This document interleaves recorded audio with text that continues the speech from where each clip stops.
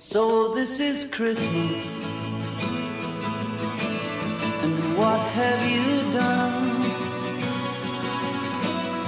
Another year over. And a new one just begun. And so this is